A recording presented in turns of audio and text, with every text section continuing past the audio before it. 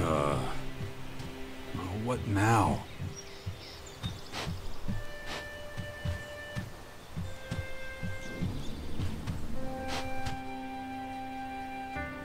Are you okay? I'm well, thank you.